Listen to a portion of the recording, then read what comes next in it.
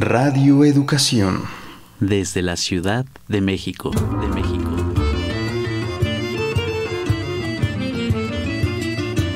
Somos paisaje interno. Somos paisaje interno. Somos paisaje interno.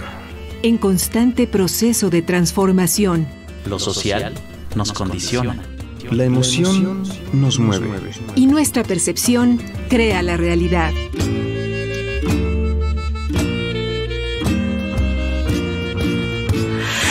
¿Qué odio nos empobrece? ¿Qué prejuicio alimenta lo que odiamos? Mardonio Carballo.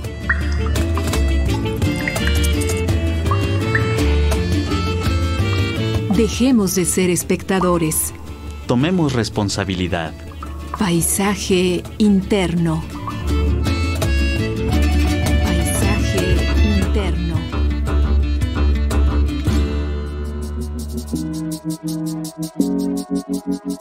A pesar de las dificultades que como familia hemos enfrentado durante esta pandemia, estamos muy orgullosos de nuestra hija. Ella se ha esforzado por seguir con la escuela y cada día la veo más madura y enfocada en lo que quiere.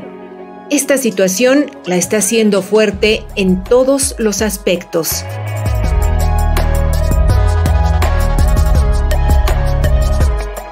El conflicto entre la necesidad de pertenecer a un grupo y la necesidad de ser visto como único e individual es la lucha dominante de la adolescencia. Jen Eliom, escritora.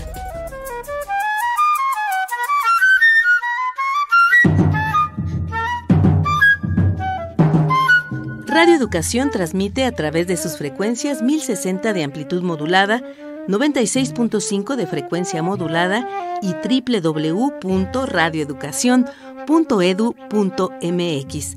Nuestros números de contacto, vía telefónica 55 41 55 1060.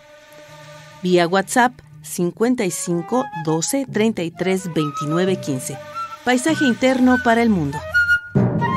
Usted que nos sintoniza, se ha preguntado qué repercusiones tiene la pandemia sobre la salud mental de las y los adolescentes.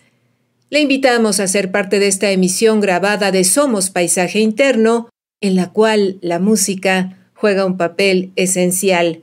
Las canciones nos persiguen, van lado a lado contando nuestra historia. La adolescencia puede ser una etapa complicada y la pandemia de coronavirus la puede hacer todavía más difícil. Las escuelas han cerrado y una serie de eventos se han cancelado, una situación difícil si tomamos en cuenta que un aspecto fundamental de esta etapa gira en torno a la vida social. La pandemia de COVID-19 y las medidas adoptadas para su mitigación, mayormente encaminadas al aislamiento, modificaron de golpe los hábitos sociales, aflorando las vulnerabilidades en función de los entornos y afectando la salud mental de niños y adolescentes.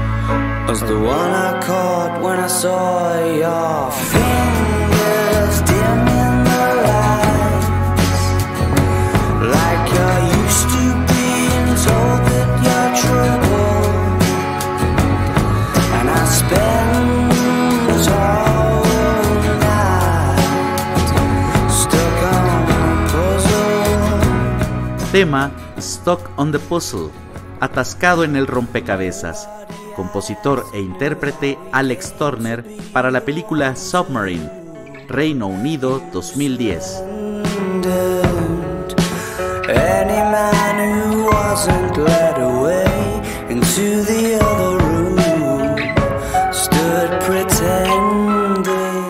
Adolescentes más fuertes y hábiles después de la pandemia, somos Paisaje Interno en Radio Educación para el Mundo y nuestra invitada es la doctora Verónica Alcalá Herrera, docente investigadora de la Coordinación de Psicobiología y Neurociencias de la Facultad de Psicología de la UNAM. ¿Qué tal, Verónica? Bienvenida. Gracias por aceptar esta invitación. Muy buenas tardes. Muy buenas tardes. Muchísimas gracias también por hacerme esta invitación. Es un honor poder compartir con el público todos los conocimientos que yo pueda tener. Mil gracias. Verónica, la adolescencia es un momento de fuertes cambios biológicos y psicológicos. En términos generales, ¿en qué consisten estos últimos y qué tipo de demandas plantean al ser humano que atraviesa por esta etapa de la vida?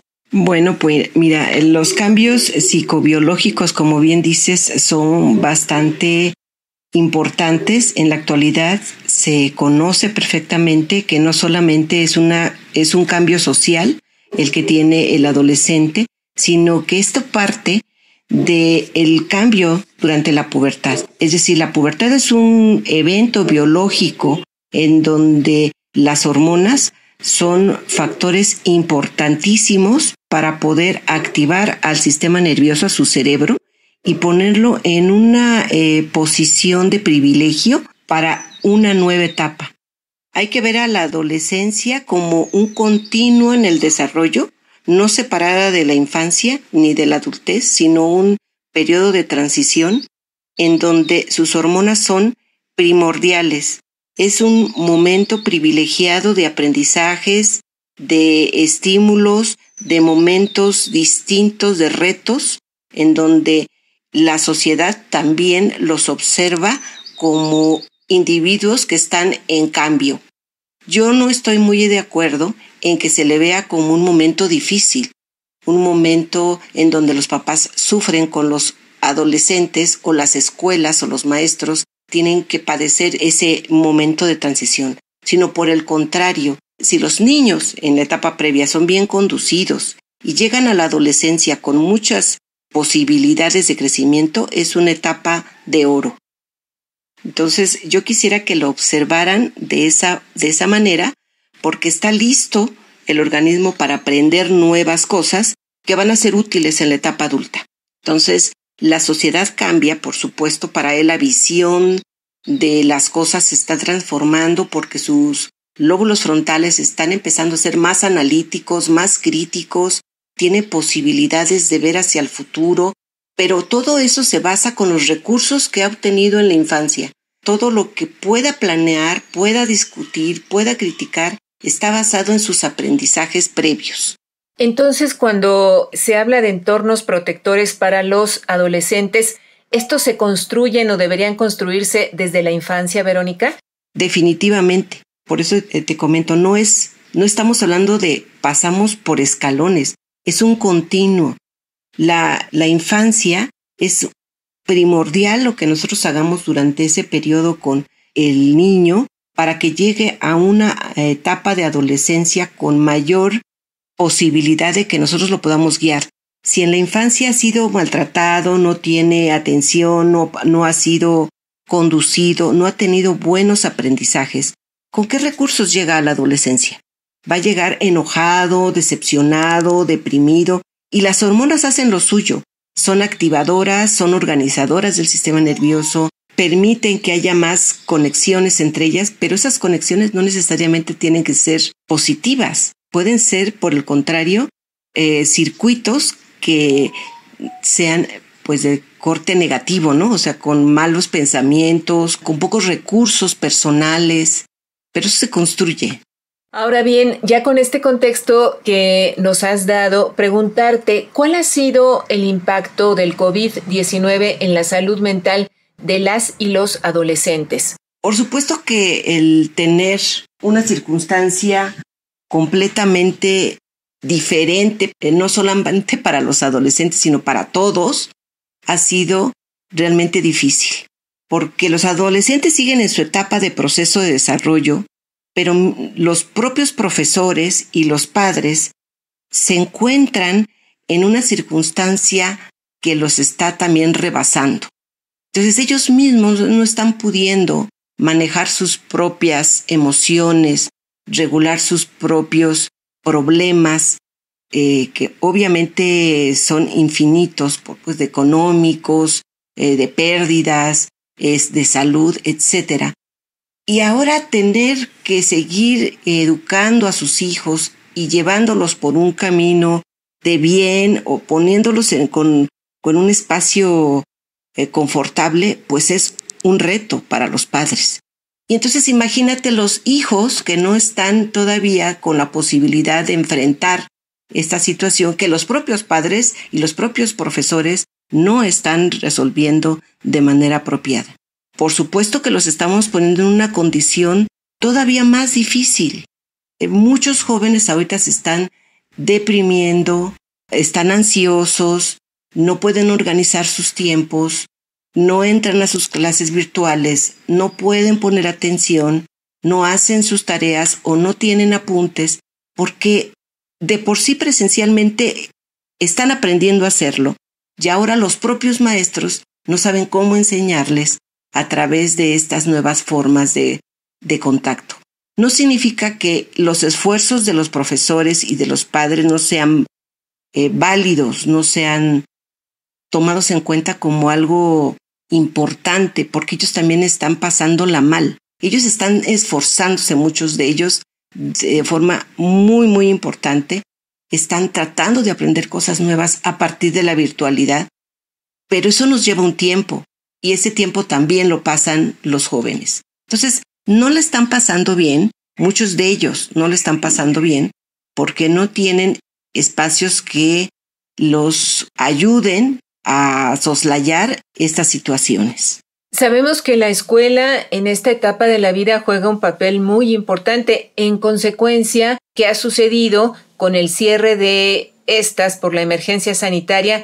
Y justo esto que nos dice de tener que tomar clases en un entorno virtual. El cambio ha sido brusco, ha sido muy rápido y en un año han tenido, ¿te parecen las y los adolescentes las condiciones para eh, adaptarse? No, no la han tenido, por supuesto. Habrá aquellos que tengan mayores recursos desde su casa. Por supuesto, habrá padres que tienen espacios eh, de casa más apropiados, tienen equipos que los eh, ayudan a que tomen sus clases virtuales, pero por supuesto que hay una gran cantidad de jóvenes que pues ni equipo, ni celular, ni, ni internet tienen y esto los pone, por supuesto, en desventaja. Todos hemos tenido que ajustarnos y retomar esta nueva forma de vida y con todo nuestro esfuerzo adaptarnos. Pero ahí los profesores pues tienen eh, la condición de que son los adultos, igual que los, los padres. Entonces, si ellos son sensibles, empáticos, a esta situación que están viviendo los jóvenes, pues será más fácil. No significa que no la pasen mal y que les cueste trabajo, sino que simplemente será más fácil.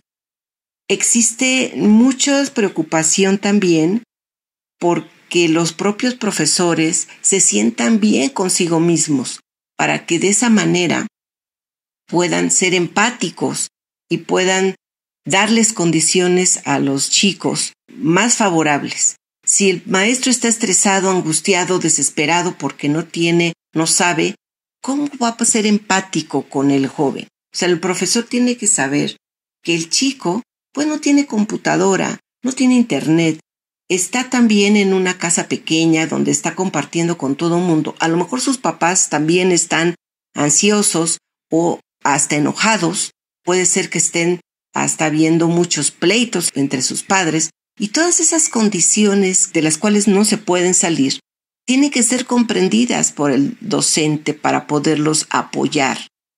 También el comprender que tiene muchas posibilidades de hacer con sus alumnos a través de esta capacidad extraordinaria que tienen los jóvenes en este momento, pudiese eh, ser favorable para el docente, para ser más empático y para aprovechar esos momentos con los que está presentándosele ahora yo soy docente y también tengo la misma, el mismo reto. Entonces, ahora, ¿qué hacemos los docentes para proporcionarles ambientes enriquecidos, ambientes estimulantes, ambientes motivadores, que ahora puedan aprender? O sea, nos debería de importar más el cómo se sienten que el qué tanto están aprendiendo, porque el cómo se sienten me va a permitir que aprendan. Las emociones en este momento están siendo muy, muy importantes, más que el conocimiento que puede adquirir. Y los docentes, las docentes a distancia, tienen ya este gran reto que es no solo enseñar, sino también tener eh, la mirada amplia para detectar cómo se sienten sus alumnos y alumnas, Verónica, por lo que entiendo. Efectivamente, yo creo que este, esta habilidad de cómo se sienten siempre debió ser una prioridad. De hecho, debe ser una prioridad tanto para los docentes como para los padres. En este sentido, los padres también tienen que ser sensibles a lo que están viviendo sus hijos. O sea, no, no podemos imaginar un papá que no mira al rostro a sus hijos y reconoce que está preocupado, que está ansioso, que está desatento, que está enojado. O sea, el papá también tendría que mirar a sus hijos e intentar entender lo que está ocurriendo. O sea, nosotros eh, es peculiar, pero me ha tocado hacer algunas pláticas de este tipo y ahora eh, les pongo una imagen en donde el rostro pues trae un cubrebocas. Y con el cubrebocas nosotros no podemos reconocer el rostro de la gente y saber si se está riendo, si está enojada, si nos está haciendo una, está diciendo algo. O sea, no, no entendemos, porque trae aparte sus lentes, sus gogles, su careta, o sea, un montón de cosas. Y el rostro nos está diciendo cualquier cantidad de información que es importante para que nosotros nos podamos comunicar. Entonces, la condición en la que estamos viviendo ahorita, pues es una condición en la cual tenemos que retomar nuestras habilidades y decir, a ver, ahora sí se estará riendo, nada más le estoy viendo los ojos, o yo me estoy eh, sonriendo con la persona como en signo de aceptación y ella no me está viendo, y yo pienso que sí, porque siempre he sido así, y esta comunicación del lenguaje no verbal cambia. Por lo tanto, los papás y los maestros tendrán que entrenarse, todos, la sociedad tendrán que entrenarse a entender a los demás de formas distintas. El lenguaje no verbal es muy importante, no solamente el lenguaje hablado. Sin duda, en este sentido, ¿qué recomendarías a los padres, a las madres de familia, desde luego a las y los docentes, para reconocer en sus hijas, hijos, alumnos y alumnas condiciones como la ansiedad, la depresión u otro tipo de problemas asociados a la salud mental? Esta pregunta es muy, muy importante. Quiero compartirte que lo primero que tendríamos que hacer es ser capaces de reconocer nuestras emociones en nosotros mismos. Si yo soy capaz de reconocer cuando me enojo, cuando estoy triste, cuando estoy ansioso, desesperado o fúrico, podré ser capaz de reconocer en los demás sus emociones. Pero hay veces que ni yo mismo sé cuando estoy enojado.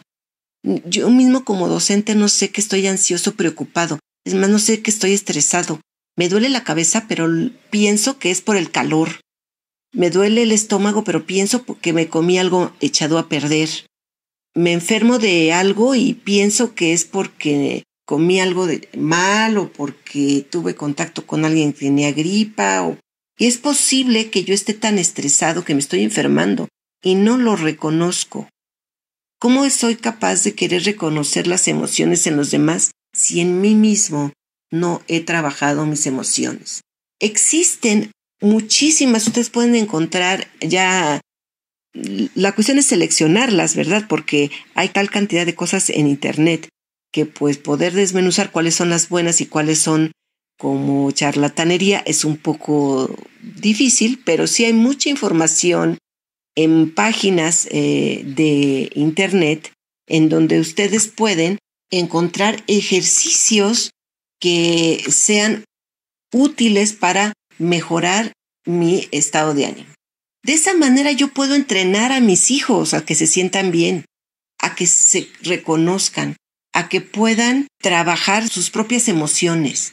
Un maestro de matemáticas enseña matemáticas porque estudió matemáticas, pero alguien que no trabaja sus emociones, ¿cómo puede enseñar a los demás a decirle, contrólate, no te enojes? ¿Para qué te enojas? Pero yo me enojo. Espero que me esté como transmitiéndoles que es necesario que nosotros trabajemos para nosotros mismos y que nos amemos, que tengamos buena autoestima, buena autorregulación, conciencia de nuestras emociones, para transmitirlas y crear espacios más confortables en el aula o en la casa. Verónica, cuando las y los adolescentes sienten la necesidad de pedir ayuda en relación a su bienestar físico y mental, ¿a quién o a quiénes suelen recurrir? Es complicado, yo creo que ahí dependerá, cada adolescente puede tener algún amigo, algún par al cual recurre y le cuenta todas sus angustias. La desventaja de que sea algún par es que es posiblemente que él tampoco tenga los recursos para poderle orientar o apoyar. Es posible, no quiere decir que no se pueda. Sin embargo, deberían de recurrir a sus profesores, deberían de recurrir a sus padres y a las personas cercanas de su familia para poder pedir un primer apoyo. Y eso eh, esperando que los padres y los profesores puedan ser capaces de orientar y canalizar. Una cosa es ser psicólogo y dar un tratamiento terapéutico y otra cosa es canalizar y orientar. Cualquier persona puede orientar. Pues si mira, tú puedes recurrir a tal persona, al tal experto, porque no lees esto, lees aquello. Y otra cosa es que yo le dé mi propia perspectiva y mis consejos y quiera que haga lo que yo diga. Entonces, nada más eh, con este cuidado, sería muy oportuno que pudiéramos canalizar en el caso de que no pudiéramos ayudarle en su totalidad, canalizar a personas que sí lo puedan hacer y que tengan la capacitación de entonces proporcionarle más, más información. Una de las formas en las cuales afrontamos la vida, que es una estrategia de afrontamiento productiva, es pedir información, pedir ayuda a otros. Esa es una buena forma de afrontar la vida. Y los, los estudiantes deberían de, deberíamos enseñarles eso, a que cuando tengan situaciones difíciles puedan recurrir a otros para pedir orientación o consejo y esas personas puedan canalizar en el caso que no puedan ayudarles, pero tengan alguien a quien recurrir, que no estén solos. Hay también eh, teléfonos de ayuda en donde pueden recurrir a solicitar apoyo.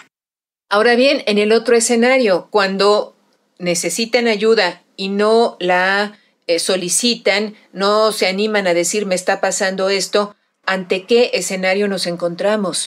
Pues entre un escenario muy difícil, porque eso significa que ellos no han aprendido, como te comentaba en el inicio, no han aprendido en sus primeras etapas de vida a afrontar de manera apropiada. O sea, no utilizan estrategias productivas, sino estrategias no productivas. Y entonces evaden, entonces se quedan callados, se enojan, se aíslan y esas son estrategias no productivas. Eso significa que el joven realmente le está pasando muy mal, pero pues ahí los papás y los docentes son los que deberían de ser capaces de mirarlos, de observarlos, de identificar que realmente ellos tienen una situación que los está agobiando. Y si uno es capaz de detectarlo y de identificarlo, en lugar de decir, es un burro, está desatento, no entrega sus trabajos, eh, definitivamente lo voy a reprobar o quién sabe qué le pasa, mejor que se vaya a su cuarto. En mejor eh, eh, de tener esa actitud, deberíamos tener una actitud los adultos empática, es decir, entender lo que le está pasando, ponerme en sus zapatos y poder decir lo que está sintiendo, después ser compasivos y ayudarlo, acercarse de una manera amable, de una manera empática. Como padres, madres, eh, docentes, debemos poner entonces mucha atención en síntomas como la ansiedad, la depresión, la falta de deseo o de motivación, también si detectamos el desarrollo de alguna adicción o problemas de conducta alimentaria o de sueño.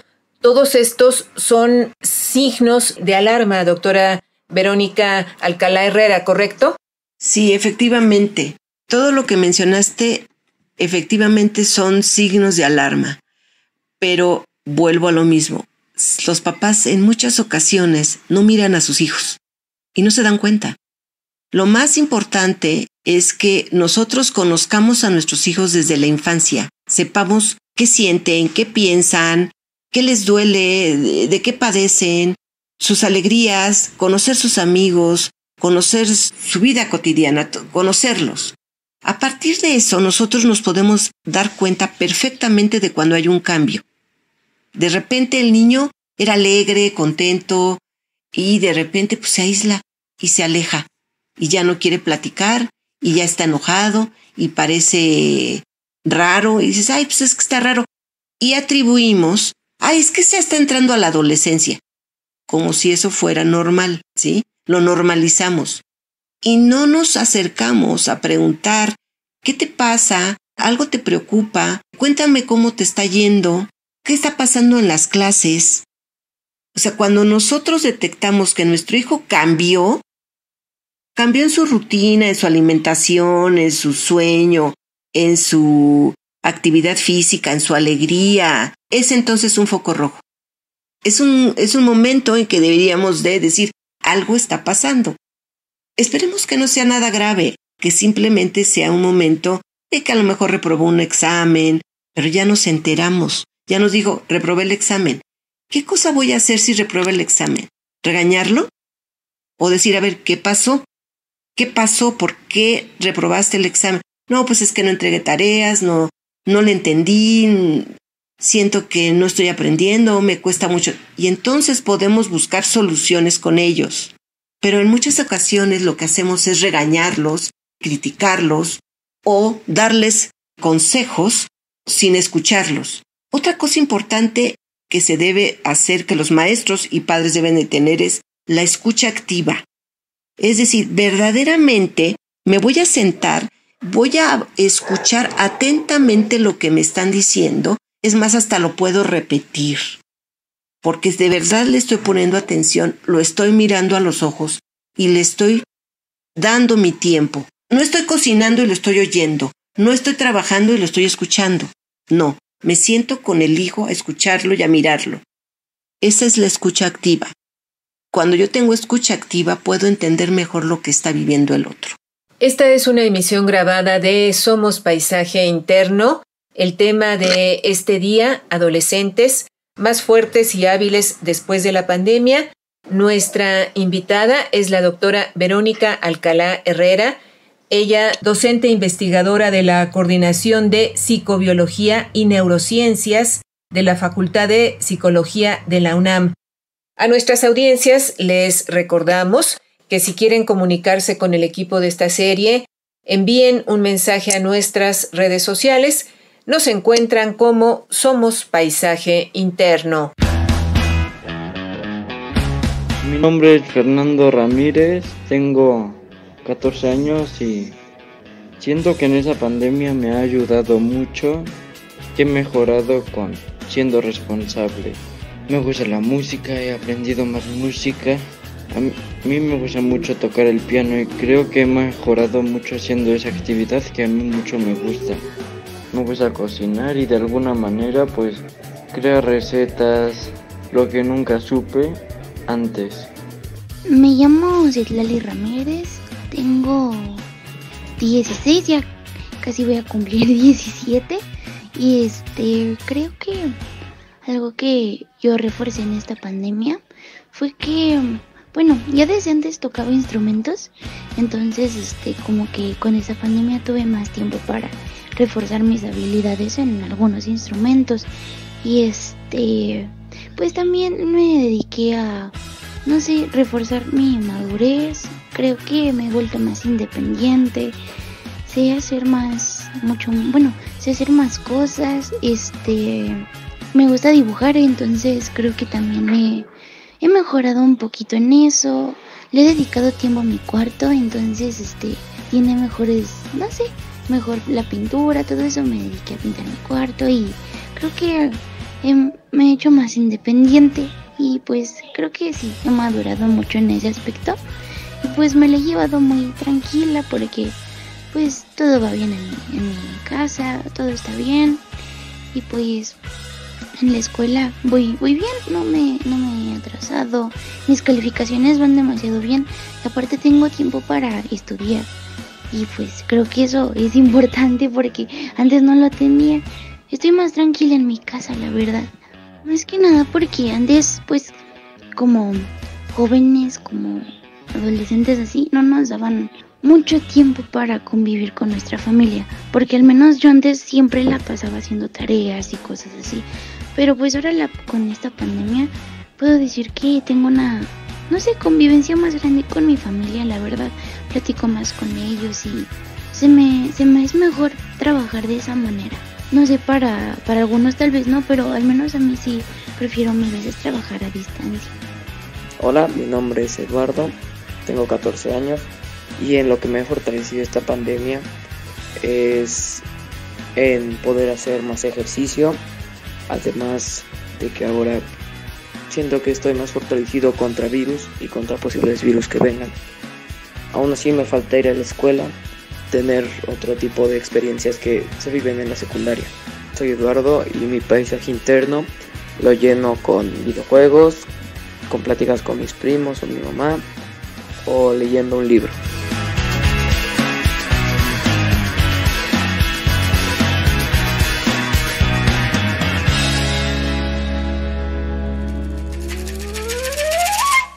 Tu participación enriquece nuestra experiencia.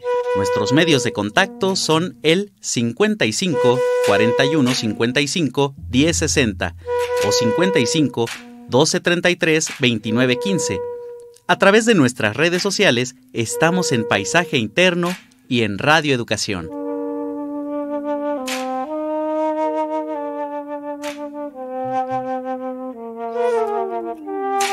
Y continuamos en esta entrevista grabada. El tema de hoy, adolescentes más fuertes y hábiles después de la pandemia. Nuestra invitada es la doctora Verónica Alcalá Herrera, docente investigadora de la Coordinación de Biología y Neurociencias de la Facultad de Psicología de la UNAM. Doctora Verónica Alcalá Herrera, en la segunda parte de esta entrevista quisiéramos retomar la pregunta que da título a este programa. ¿Tendremos adolescentes más fuertes y hábiles después de la pandemia? Eso es lo que queremos. Yo creo que existe una gran cantidad de profesores y profesoras que se están preocupando por sus estudiantes. Muchos padres que también lo hacen.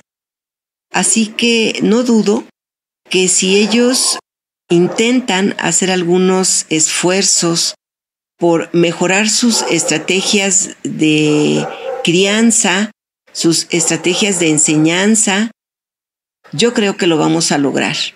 Porque no solamente van a salir fortalecidos nuestros hijos, nuestros jóvenes, sino la sociedad misma. Aquí nos preocupamos, pues por supuesto, por los adolescentes. Pero si ellos salen adelante, significa que todos estamos saliendo adelante.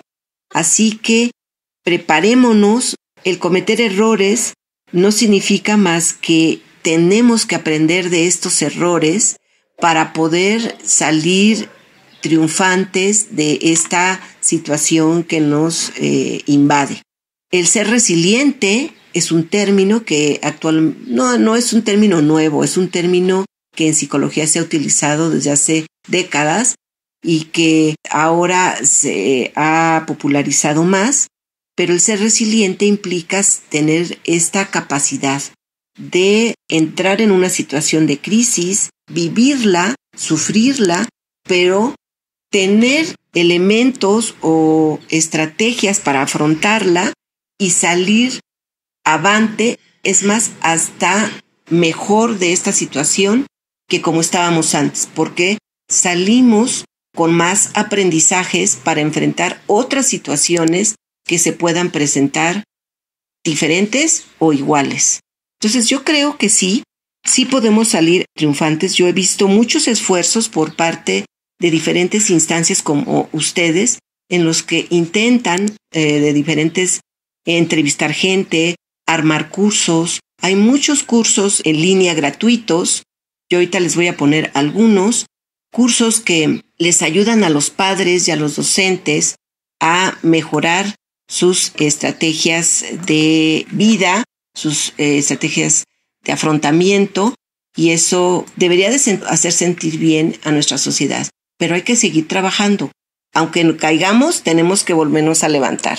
¿Podrías dar a nuestras audiencias algunas estrategias de afrontamiento, en particular para circunstancias tan difíciles como las que hemos atravesado a lo largo de este año?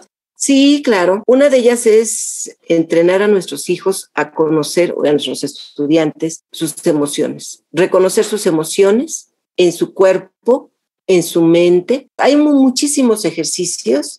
Pueden encontrar una gran cantidad de páginas en donde hacen ejercicios de este tipo, como lo serían los ejercicios de atención plena, en donde realmente tratas de hacer consciente tu cuerpo, de hacer consciente tu mente, de poner atención a lo que te está ocurriendo, a lo que estás sintiendo, para eh, realmente, como bien dicen los que trabajan estas técnicas, sentirte.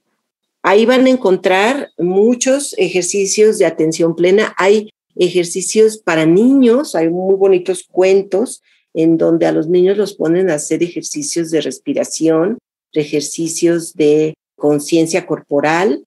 Eh, esos son técnicas, técnicas distintas. Existen también eh, ejercicios para poder reconocer en los demás las emociones. Ahí está eh, el círculo de las emociones, donde yo, hay cantidad de formas, desde juegos, en donde yo puedo hacer dibujos, reconocer el rostro de los demás. hay muchas actividades para que pueda yo reconocer las emociones en los demás. El ser empático, también existen N cantidad de ejercicios para jóvenes, para adolescentes, en donde se pueda también trabajar la empatía, la compasión, el entrenar a nuestros chicos en la búsqueda de información fidedigna es muy importante, de verdad, eso es algo que hago énfasis porque en Internet hay N cantidad de, de materiales, pero tenemos que ir a fuentes que sean eh, fidedignas. Entren a Aprendo Más de la UNAM, entren a páginas que sean de la Secretaría de Educación Pública, que sean de fundaciones serias que están eh, dándonos muchos materiales y que este material nos permita generar actividades. Traten de tener autocuidado. El autocuidado se refiere a que nosotros seamos capaces de organizar nuestra vida en diferentes áreas. Por ejemplo, chequemos cómo estamos durmiendo, nuestras horas de sueño, nuestra higiene del sueño es sumamente importante. Nuestras horas no es que seamos rígidos en esto de la higiene del sueño, pero sí que seamos rítmicos. El sueño es un ritmo, es un ciclo sueño-vigilia. Por lo tanto, nosotros tenemos que dormir cierto número de horas y estar despiertos cierto número de horas el tiempo que pasamos dormidos es de suma importancia para nuestra salud mental. O sea, ya existe suficiente investigación que nos confirma la importancia del sueño en cada una de las etapas de la vida. Entonces, cada etapa de la vida tiene ciertas exigencias. En los adolescentes deben de dormir entre unas ocho, por lo menos hasta 10 horas se pueden aventar los adolescentes a dormir y ellos, su cuerpo se los está solicitando. Entonces, sí tendrán que darse su tiempo para dormir. El dormir tiene que ser rítmico. Yo me debería de dormir siempre a la misma hora, alrededor de la misma hora, y despertarme alrededor de la misma hora. Mi cama debería de ser para dormir y no debería de ser pues mi oficina, mi sala de lectura, mi restaurante donde como, donde juego, donde hago todo. Mi cama sería para dormir.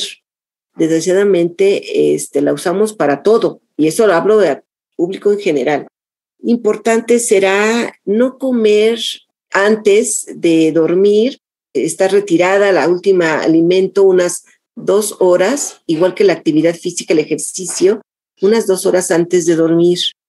No consumir sustancias que sean estimulantes como café, como alcohol, o en el alcohol es inhibitorio, pero de todos modos eh, afecta nuestro dormir, no fumar, etcétera. Todo esto antes de dormir, evitarlo. No utilizar dispositivos electrónicos. Aquí es una situación muy compleja porque los jóvenes tienen el dispositivo electrónico, como es el celular, muy cerca de los ojos y encendido. Y esta luz afecta nuestro ritmo de sueño, nos, no nos permite, la señal luminosa no nos permite que produzcamos melatonina, inhibe esta producción y entonces no se instala el sueño. Sería pertinente evitar los dispositivos electrónicos después de cierta hora. Entonces, todas estas son pequeños detalles que son importantes.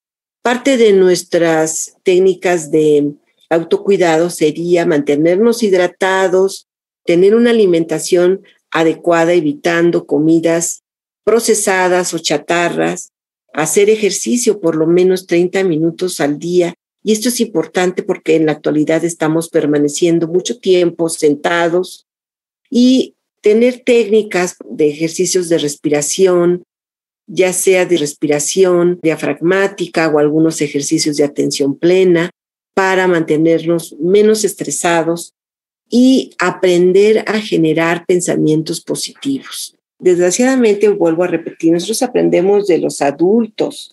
Y si los papás estamos diciendo, es que esta situación del COVID está horrible, eh, ya no sé qué voy a hacer, definitivamente el mundo se va a acabar, esto es una cuestión de que nos aventaron el virus y quieren que todos nos vayamos a morir. Esos son pensamientos negativos. Entonces tenemos que aprender a generar pensamientos positivos. ¿Qué hemos ganado con el COVID? Hemos ganado tiempo. Todo lo que ocupábamos en trayectorias de trabajo, las hemos ganado. Hemos ganado tiempo para comer con nuestras familias, para estar con nuestros hijos, para poder cuidarnos, para mejorar nuestra alimentación. Eso hemos ganado. Claro, hemos perdido cosas, pero en este mundo no podemos tener todo. Entonces, pensemos en lo ganado y sigamos construyendo en lo ganado. Esos son pensamientos positivos. Entonces, bueno, estas son algunas de las tantas cosas que se pueden hacer a partir de que estamos encerrados por esta situación de COVID. Y justamente hablando de autocuidado, preguntarte si las y los adolescentes deberían tener un rol activo en este proceso de autocuidado. El autocuidado es nuestro, no es de los papás.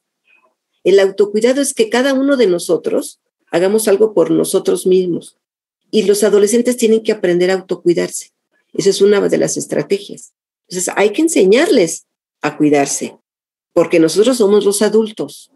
Entonces, enseñémosle, pero el que se tiene que cuidar, el que tiene que generar la conciencia de que debe hacer ejercicio es el mismo. El que tiene que generar los pensamientos positivos es el propio adolescente. Entonces, ayudémoslo, enseñémosle, pero el que se tiene que cuidar es él.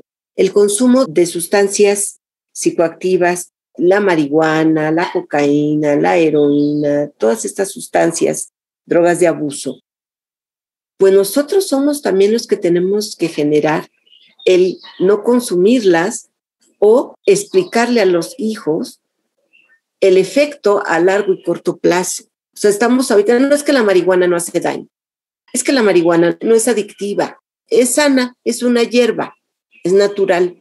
O sea, los hongos venenosos son naturales y son mortales. Hay muchas plantas que son dañinas.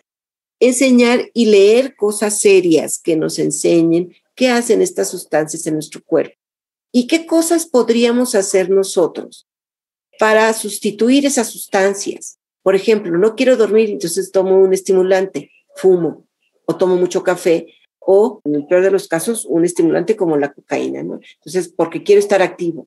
Eso sería lo mejor, a mejor tener mejores hábitos de vida, dormir adecuadamente y estar despierto adecuadamente y hacer ejercicio. Y eso me va a producir el mismo efecto que estar activo, estar despierto. Sea, esas son las cosas que tendríamos que pensar. La marihuana me aletarga, me hace sentir en buena onda, tranquilo, relajado. ¿Qué otras cosas puedo hacer para relajarme? Ejercicios de respiración, manejo del estrés, actividad física, un buen sueño. Eso también me va a mantener relajado. Pero ah, es más fácil consumir una sustancia que sea inmediata como una píldora o este, en este caso un cigarro, es más fácil que ponerme a entrenarme a hacer ejercicios de respiración y ejercicios de mindfulness o hacer eh, correr o hacer cualquier actividad física, caminar. Uno tiene que invertir tiempo en eso y los jóvenes tienen que aprender que no tiene que ser inmediato el reforzador. La marihuana es una sustancia muy peculiar porque tiene es, eh, contiene moléculas que se pegan a receptores que se encuentran en nuestras neuronas. Significa entonces que nosotros tenemos sustancias propias que se pegan a esos receptores, que generamos nuestro propio cuerpo. No necesitamos algo exterior. Pero ¿cómo las produzco? Sería la pregunta. Pues con estas actividades de relajación, de entrenamiento, de actividades que me permitan sentirme más tranquila. Y eso se entrena. Otra estrategia que pudiese ser es tener más actividades de tipo recreativo que sean satisfactorias como las actividades artísticas, el baile, la pintura, la música, la escultura. O sea, hay que encontrarles actividades satisfactorias a nuestros hijos. Si los dejamos sin hacer nada, que se aburran, van a recurrir a cosas, pues, pues la tele, cosas de, internet que a lo mejor no son tan útiles pero nosotros sí podemos generarles actividades artísticas, recreativas, también en Internet, ¿eh? no necesariamente tienen que ponerse ellos a bailar. Hay cualquier cantidad de clases de danza, de pintura, de escultura, de música, que son gratuitas y que permiten que los hijos tengan estas otras experiencias satisfactorias. Doctora Verónica Alcalá Herrera, estamos en los últimos minutos de esta entrevista. ¿Hay algún asunto que te parece se nos haya quedado pendiente y que quisieras exponer ya para el cierre de la misma? Yo quisiera compartirles a ustedes, a todo el público, que existe una página en Internet en donde van a encontrar cursos muy interesantes, completamente autogestivos y gratuitos. Se llama Aprendo Más. Así metan ustedes estas palabras, Aprendo Más, y ahí encuentran cursos como Aprende a cantar, hay algunos de crianza positiva en el hogar que son construidos por la Facultad de Psicología. También hay cursos para eh, manejo de los adolescentes. Hay cursos, por ejemplo, descubriéndome en mi sexualidad, detección de conductas adictivas, muchos de ellos construidos por la Facultad de Psicología. Ojalá la explore porque tiene muchísimos, no los voy a leer todos. Y también quisiera exploren este otro recurso que te he compartido, que es un instrumento para la detección de riesgos a la salud mental COVID-19. Ustedes lo pueden googlear como misalud.unam.mx. Es un instrumento que fue generado por la Facultad de Psicología, es un instrumento de tamizaje para que ustedes exploren cómo se encuentran actualmente. Si quieren que sus hijos hagan este instrumento como son menores de edad, tiene que estar un adulto para que pueda meter sus datos, pero puede resolverlo un adolescente, puede resolverlo un maestro, puede resolverlo un padre, que se encuentre en una situación en la cual crea que tiene que conocer cómo se encuentra su salud mental. Este instrumento de tamizaje les va a permitir saber qué riesgo tienen de violencia, de depresión, de agresiones, de adicciones y otras cosas más, de autolesiones, de suicidio, de eh, varias cosas. En el caso en que ustedes requieran atención o apoyo, deseen que los contacten, dejen sus datos ahí para que sean contactados por la facultad. En el caso que ustedes salgan con bajo o mediano riesgo, ahí hay material que les va a ser útil para exactamente lo que les he estado participando, para manejar su estrés, para mejorar eh, su autocuidado, para algunas técnicas para mejorar o evitar la depresión y la ansiedad. Van a encontrar muchas, muchas cosas que les serán útiles. Esto está abierto a todo el público. Es un instrumento para la detección de riesgos a la salud mental COVID-19 y lo encuentran si lo googlean de esa forma. Mi salud también es mental COVID-19. Perfecto, muchas gracias por estos eh, recursos, doctora Verónica Alcalá Herrera. ¿Cómo seguimos tus propuestas de investigación, los estudios que realizas? Bueno, pues eh, yo tengo un Facebook, si ustedes quieren hacer alguna pregunta, pueden entrar al Facebook doctora Verónica Alcalá Herrera. Este es, así como lo menciono, doctora Verónica Alcalá Herrera, en donde pueden escribirme.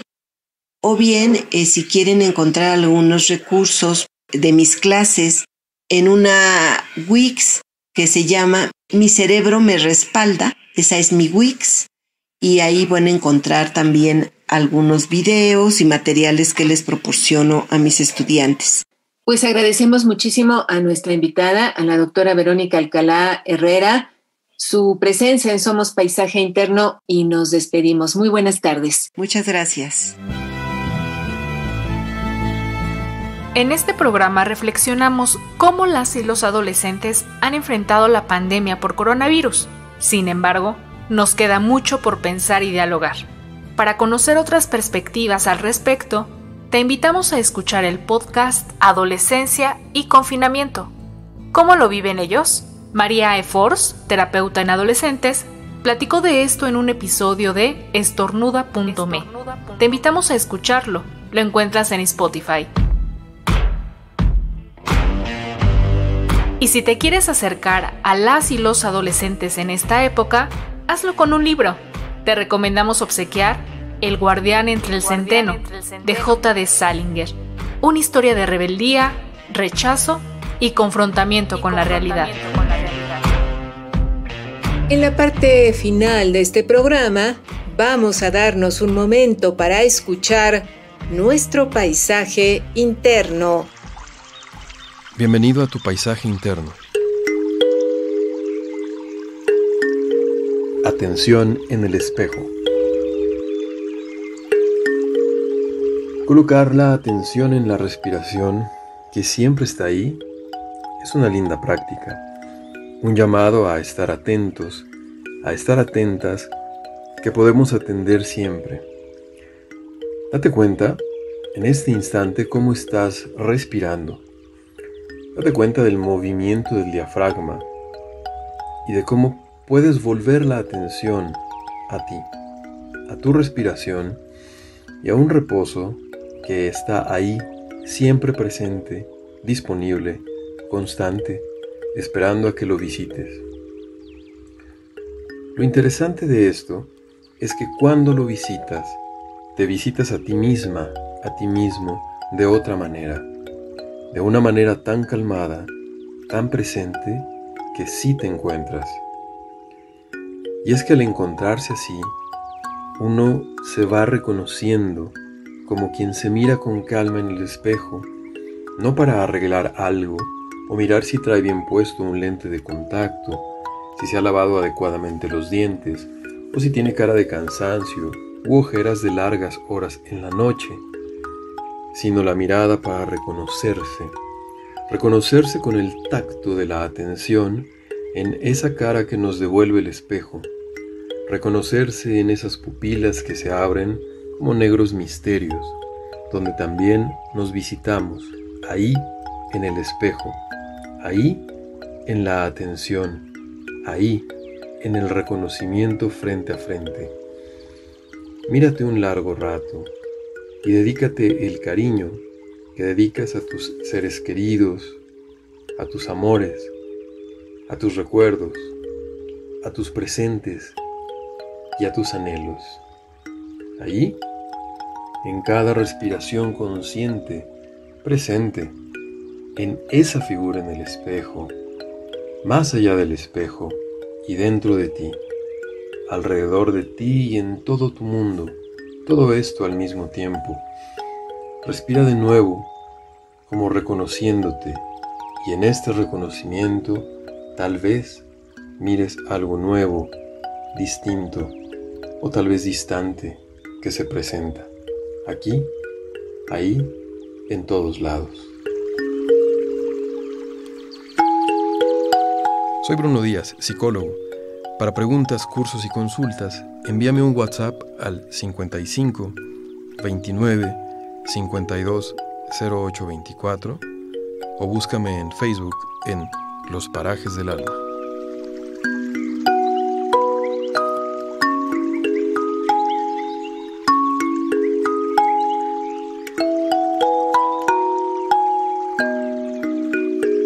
Participamos en este programa nuestra entrevistada, la doctora Verónica Alcalá Herrera, y los adolescentes que lo hicieron con sus opiniones.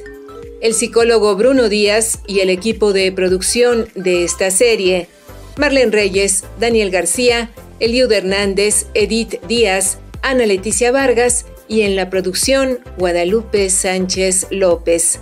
Hasta la semana entrante y, por favor, destinemos un tiempo a cultivar nuestro paisaje interno. Paisaje interno. Construyendo redes.